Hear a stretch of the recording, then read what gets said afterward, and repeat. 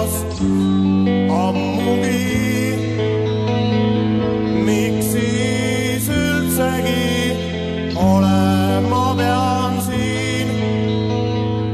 võin vabalt mööda minna sinust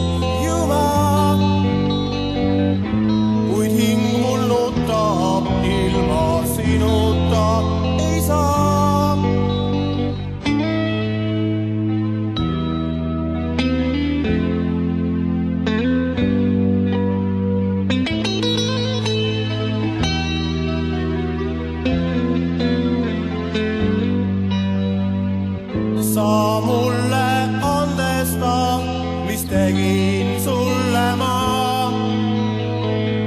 ja anna andeks kõik, mis tegemata ka.